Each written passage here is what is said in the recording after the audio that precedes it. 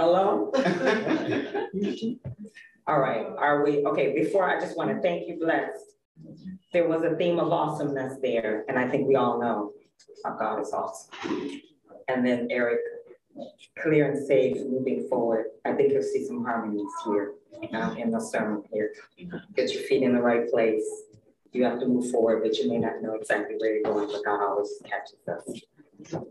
So you want to record now? It's recording. Oh, it's recording. All right. Any handouts? Not this time, not this time. Oh. The title of this sermon is Foreclosure Legacy Jubilee. You probably might think Jubilee, foreclosure. How are those related? So I have the greatest nightmare. I think I mentioned that to you. No one wants to hear that their family land is up for foreclosure auction. That is not a good place. It's not where any family wants to be, but there are many that obviously go through it, as I learned. So, the Monticello newspaper announced, Monticello, Georgia, that is, announced that a piece of land that's in my family was up for foreclosure. By the way, they're all publicly noted that any foreclosure auction is publicly announced. So this is no surprise. Nobody should be like, oh, it's it. No one knows. Unless you're combing all the papers in all the United States, you might not know, but it's clear. So what is a tax lien foreclosure? A tax lien foreclosure is the sale of property resulting from the property owner's failure to pay their tax liabilities. A lien is placed on the property because the owner or whoever holding it didn't pay the required taxes. That's what happened to this particular property. And you get a listing of all the details, the parcel, the lot, the current record holder, Jim Holland Estate, and all heirs known and unknown. Defendant, well, tax years, a couple of them. The deed book, not found. Wait a minute. If, if you're probably wondering, how the heck can the tax commissioner be collecting tax on a deed that they can't find? They can't find it. But of course, at one point, this land obviously had a deed because they started collecting taxes. Legal description, their description, where it is, being found here, in this county, Georgia, so many acres, possible street. Notice there's no address. It's just a street because there was no home on this property. That's my family property up for tax closure. Let's talk about land. Seems to be pretty important, right? It was. The Lord started Land started with the God, the creator and supreme landowner with the Garden of Eden.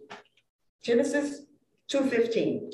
The Lord took the man, put him in the Garden of Eden to work it and take care of it. God is the owner of all things. Just as the land in Israel belongs to God, so everything in the world belongs to God. I think we all know that. Since God is the owner, we are the stewards. Stewardship is Christian life, right? We're stewarding this, children, your stewards here. We're stewarding all over the place. And in 1 Peter 4:10, it says, each of you should use whatever gift you have received to serve others as faithful stewards of God's grace in various forms. No one knows exactly what form you'll need to be using these gifts to be stewards, but you are, as I mean. But God is also the savior of his people. But guess what? God is the God of second chances. He gives us all second chances. And this is the heart of the law of the year of Jubilee. So, what is the law of the year of Jubilee?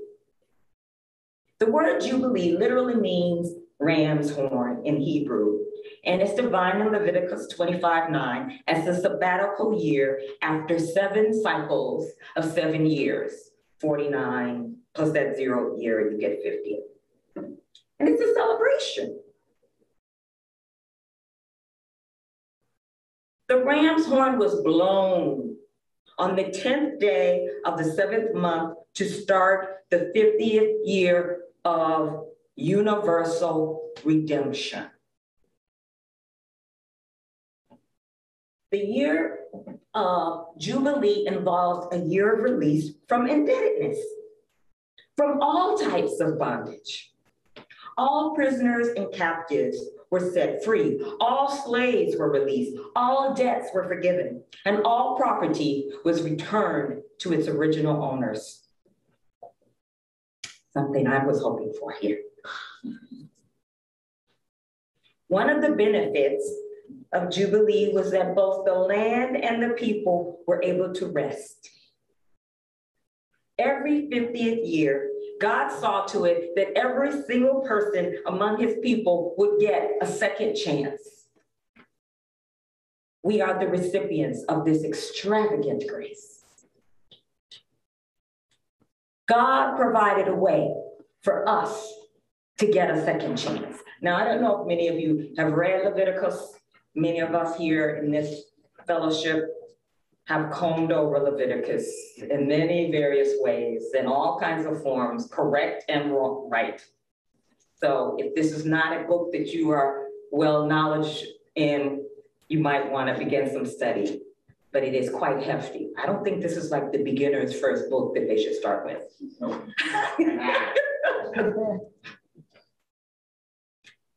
so now let's talk about the land restoration that's found in Leviticus 25.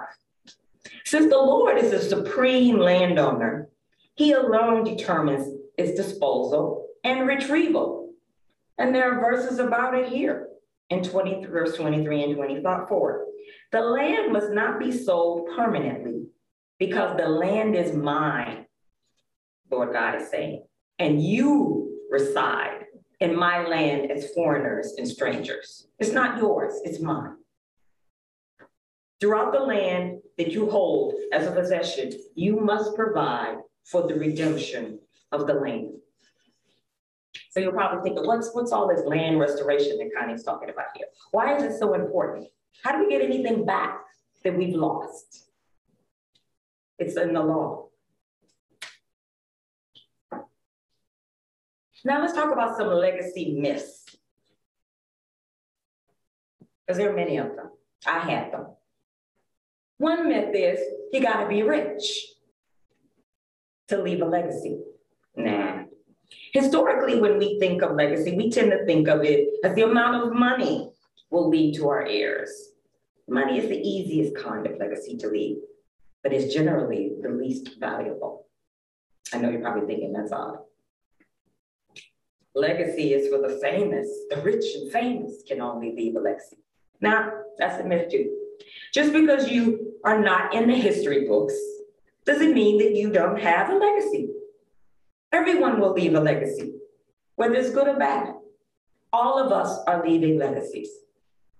I see it with my nieces and nephews, my brothers and sisters, what they've done or haven't done. They're leaving a legacy. It might not be the one they wanted, but they're leaving one. My parents have left me with a legacy. I think you're benefiting. Legacy is cast in stone. Now, that's a myth too. There's some who give up the ideal of legacy. They see a hopeless past or perhaps a hopeless future. The legacies can be remade. Second chance. Legacy is not about having a perfect record. It's not about the swashbuckling hero which proclaims victory before the battle. Legacy is about faithfulness, even in the midst of failure. Climbing a rock, my foot slipped. Did I hold on? It's proceeding, proceeding, even when the feelings aren't there. I had no feelings to go redeem this land. Not at all. None. Every one of us is building a legacy, an imperfect legacy. We're human, we're imperfect. But there's hope because God uses broken vessels. He is able to bring good out of the messes we get into. Our God is a God of second chances. It's called forgiveness. Let's get to the details. This legacy in me. Once you get through all the legalese, and you, you you go down to a little part that says who signed this thing? Who is the grantor? Who is the grantee? Who is who owns it? Who gave it up? And when did they do it? This deed was signed November 5th, 1942. My father's name is there. My mother's father's name is there. And then I think my mother's father's brother's name is there. But notice there's no women's name there. There's no women's names listed there. There are women, but they're not listed there. I believe at this time, women could not own property, let alone a black person, let alone a black woman owning property at this time. By the way, at this time, there were still white sections and black sections and things like this. And in this particular town, I believed when I talked to my brother, he said, they thought, ah, yeah, sign on the sign on the property. They won't be able to keep it up because guess what? Black folks don't keep it up. They don't pay for it. They don't do anything, etc. That's what they. That's what the owners thought. This person by the name of whoever gave it to my family. So this is my legacy, right? Found. I'll get to that in a moment about lost and found. Legacy's purpose. It's in Proverbs 13, 22. It says, a good person leaves an inheritance for their children's children. This verse keeps our life goals, our vision, and our legacy front and center when we're choosing how to use our money today. I had to do put out some money to go back and get this land, right? I could have used it on, I don't know, in clothes, some shoes, I don't know. I could have used that money very differently. When we weigh what we want now against what we really want later, we realize how temporary satisfaction pales in comparison to a legacy of purpose and generational fulfillment. An inheritance is not limited to money. It also includes godly character, qualities like integrity and trustworthiness. Combining a financial inheritance with wisdom and godliness ensures that the next generation, hello, William and Dean, will also manage God's blessing that are give glory long after we've graduated to heaven. We all graduate, folks. We're just in high school right now. So let's talk about this lost legacy that was found. This is a very, very, I found scriptures on this, so just look at the pictures here. So that's me in front of the Jasper County Courthouse on the front steps in Jasper County. So where is Jasper County in this great state of Georgia? It's midway, mid-center, you'll find Monticello. I only been there a couple times when I was little. Never really had a reason to go. Nothing really much there. The place looks like Mayberry or Back to the Future.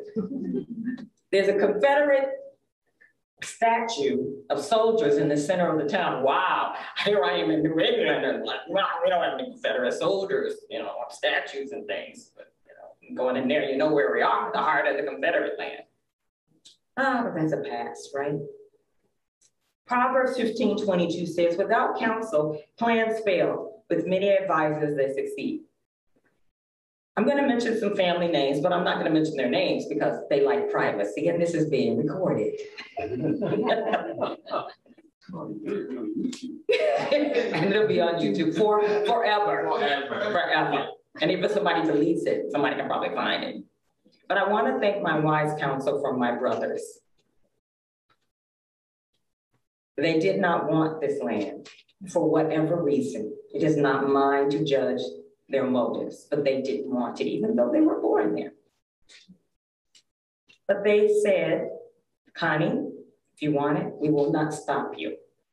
Because they could. They're family members, right? My other sister, I have two sisters alive, one dead. The, the, dead sister actually, I think, tried to do this process, and probably the information we have today is thanks to her.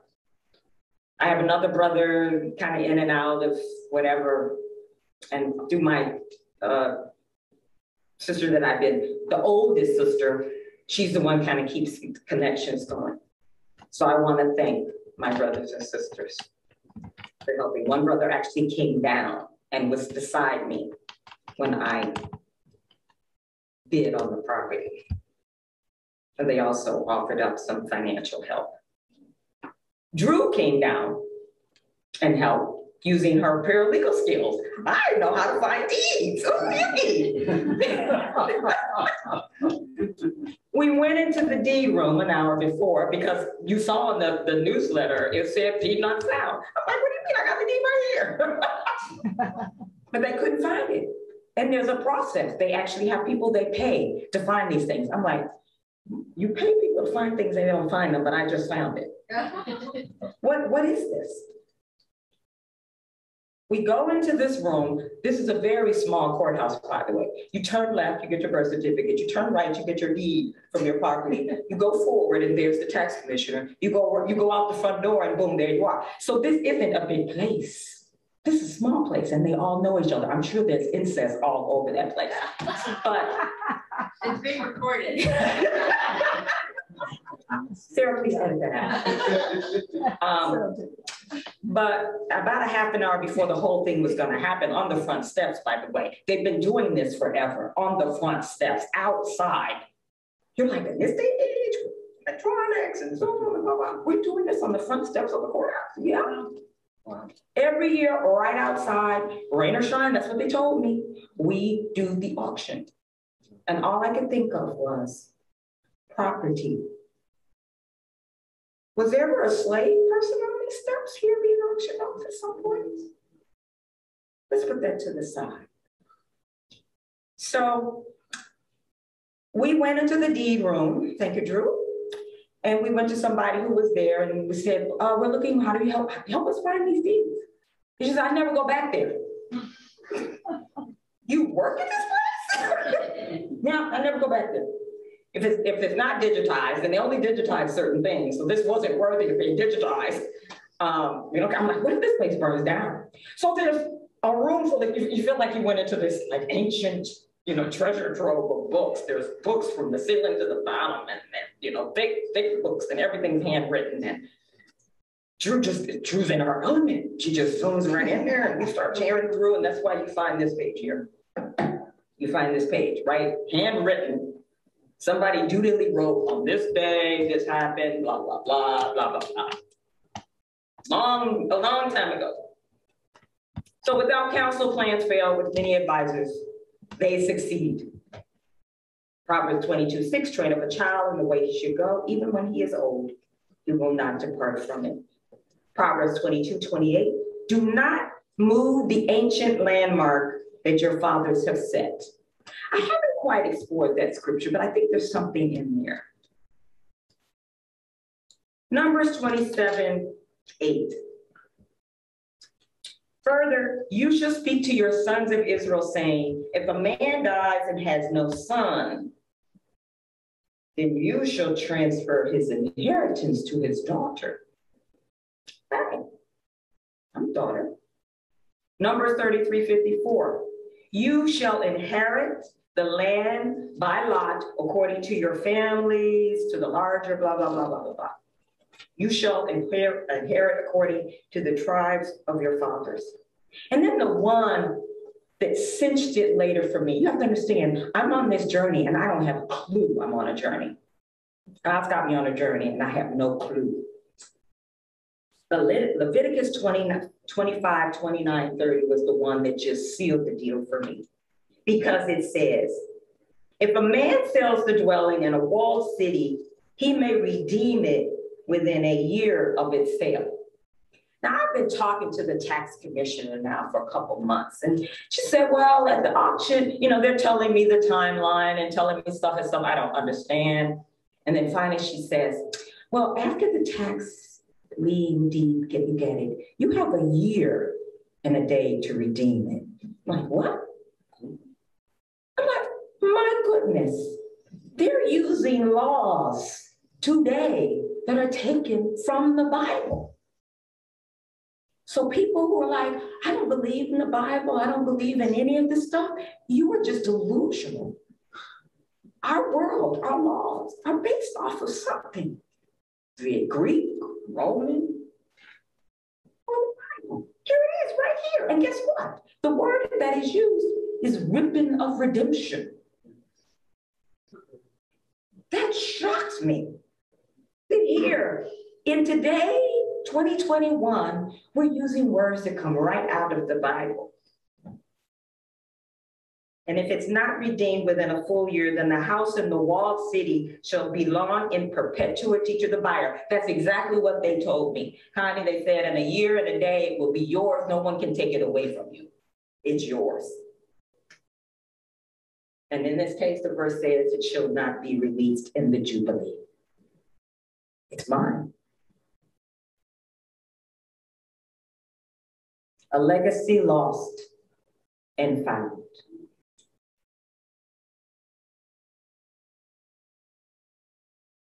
Now let's talk about kinsman redeemer. Didn't know this was what was going on, folks. Still, we're in Leviticus, that big, juicy book of the Bible. Leviticus 25 25. If one of your fellow Israelites becomes poor and sells some of their property, their nearest relative is to come and redeem what they have sold. You might be thinking for the literal, that have to do with tax lien? Well, something was sold, something was lost. Somebody's trying to redeem it, which was me. What are the requirements to be a kinsman redeemer?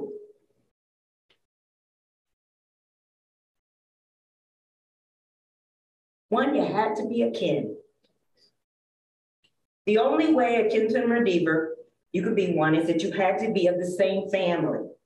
There had to be some relational tie. Think of it as some kind of, oh heck, kind, kin. Okay, that makes sense. Someone from another family could not bring about the redemption because they were of a different kind. So you had to be willing. We all know the Ruth and Boaz story, right? Yeah. Probably most of us, that's where you think of kinsman redeemer. But let's be broadening here, right? that the person, the next redeemer in line, was simply not willing to go through with the redemption. It's no, I'm not. If I marry Ruth, I'll, I'm going to mess up my whole other stuff and whatnot. That person said no. So someone else had to step in. So the person that's not willing, by the way, and they could not be forced to do it. Being willing is at the heart of what is the kinsman redeemer. Three, you have to be able to redeem. Willingness unknown, because my sister passed. She was willing, but not able. She didn't have all the steps here to be able to do this. You actually had to follow through, follow through, move forward, take the next step. If you did not have the financial means to make the redemption, then you, you could not be the redeemer. It did not matter how good your intentions were. And you had to pay the price in full. They would not take an online payment. They would not take a credit card. They would not take a promissory note. they wanted either cash or a bank check. They did not do installments. You had to pay full.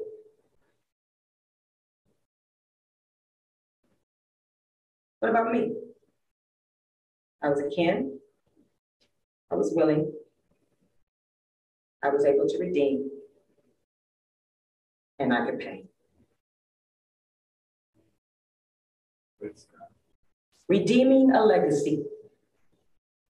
The year of Jubilee has the number seven in it a lot of times. And when you study the Leviticus and all this, you find, hey, these numbers have something. Three, the Trinity, seven, completeness. They come up lots of times. I won't get into numerology. Don't let's not go there.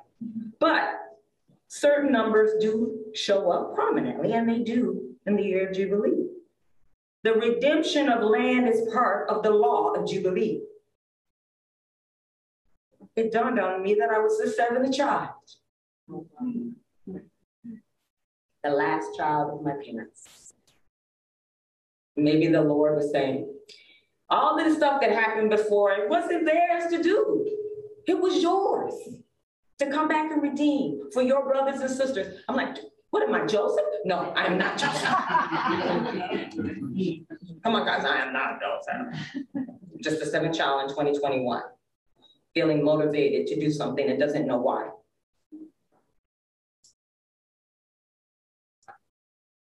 I was kin, definitely willing and able, and I could pay those back taxes. By the way, it was interesting because Drew was there and she loved the whole process, the auction process. I hated the whole thing, but she was just, woo, woo, it's getting hot in here. There was property there that had back taxes of like $295 that went for $15,000. Who in the heck would bid it up like that? It was sort of like the person was like, I want this property, and bam, I'm gonna stop all of the bids. Just stop all of them, and everybody just. Hated that process. And then there was, understand the devil is there. When you are trying to do something for God, do not think the devil is not there. It may be subtle, may be blatant, but the devil was there, and I met the devil. The person there didn't buy anything, had no purpose, didn't want anything, was bidding everything up. So I knew the devil was there because the devil wants to be there. I want to block all the good things that God wants. At the start of this process, I had no idea what was going on. God doesn't come and tell you, so Connie, let's have a talk. I'm going to tell you exactly what's going on, and I'm going to lay it out for you, and here's all that's going to happen. No, that's not how it works. So anybody who thinks that how it happens, it does not. The Lord does not like just lay it all out there for you. I think there's fun in the learning, the process. I wouldn't be able to do this if I had known it all front. Divine providence was at work. God knew what I did not know, that I was meant to redeem this property. God was giving our family a second chance, and He decided that I was the one to do it. That is all it is. It's no grand and glorious thing. I'm not greater than anybody else. I'm just the chosen vessel at the time. God uses and picks whoever He wants to do whatever He wants for His greater will. That's all it is. No need to get my head blown up. Mm-hmm. That's not the point. God is the point. Jesus is the point. I am the kinsman redeemer in this situation, and I was meant to reestablish the family legacy with this property. The birth home of my older brothers and sisters was meant to be redeemed. That's the point. The Lord revealed to me in a personal way what it means to be a kinsman redeemer. So here I am walking the land. I have a little video, it's about one minute, but hey, couldn't get that all here. So we started one end and I pushed Drew out the way because she was blocking the photo. and we walked land. Good land. Big land. One side there's this beautiful home. I mean, a typical, you know, one level home. Another, and the other end there was a dump. And in the land, somebody threw a old toilet commode in the center. My brother said, oh yeah, we cleaned this out 20 years ago. We okay, fine, but you know, the earth takes over. The earth will take over, grow up, you won't even recognize the place. That we walk the land. And at that moment, I could see the dot connect physically. So let's close it out here. Jesus is our kinsman redeemer. We know what you had to be, but how did Jesus do it? Jesus became like us because the Redeemer had to be of like kind. Jesus had to be like us.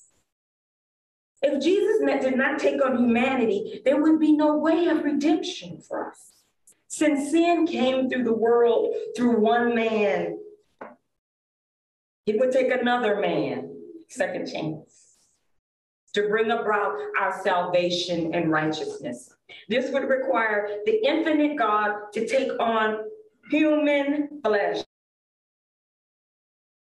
To be used for his own advantage. Rather, he made himself nothing by taking the very form of a servant, being made in human likeness, and being found in the appearance as a man, he humbled himself by becoming obedient to death, even death on the cross. He was willing to do it. Jesus gave up his life as a sacrifice of his own free will. No one twisted his arm to do it. He was willing to be obedient and see this process all the way to the end. I too was going to follow wherever the rabbit hole led to get that family property back. That's what Jesus did with the triune God. There was no question we were going to be redeemed. God knew we were going to be redeemed. Jesus was able to redeem us. Having the willingness, as we said earlier, means nothing if you're not able to do it. No one else could come and do this redeeming of us. The death and the obedience of Jesus was everything they needed to bring out the redemption. Jesus is a family. It's not about the I, it's the we, it's the us. So when people think, oh, it's all about me and what I want, no, we are all interrelated with each other. I need you to survive. Consequently, just one trespass resulted in the condemnation of all people. So also one righteous act resulted in the justification and life for all people. Just as through the disobedience of one man, the many were made sinners. So also through the obedience of one man, we have all been made righteousness. Romans 5, 18, 19. Jesus paid the complete price for our sin. At that auction, someone was bidding up my property, had no business. And the tax commissioner stood in and said, this is family property. Why are you bidding on this? You don't want it. You have no need for it, and you don't even know where it is. Jesus paid the full price. No one could overbid Jesus' bid to redeem us and pay the price. Jesus paid the full ultimate price. There was no debate. On Titus 2:14 it says he gave his life to free us from every kind of sin, to cleanse us and to make us his very own people, totally committed of doing good deeds by little deed. Jesus paid it all once and for all. When we think about the kinsman redeemer, it's all about what was lost and found. We were lost on the verge of losing everything, but Jesus stepped in. He restored what was lost and gave us a new identity in Christ. The beautiful thing here is we never have to worry about having to be redeemed again. Jesus paid the price redemption once and for all. So to close, I thank Lord, and I hope you thank Lord with me for showing us in a very personable, tangible way what it really means to retain a family legacy and be a kinsman redeemer. Thank you, guys.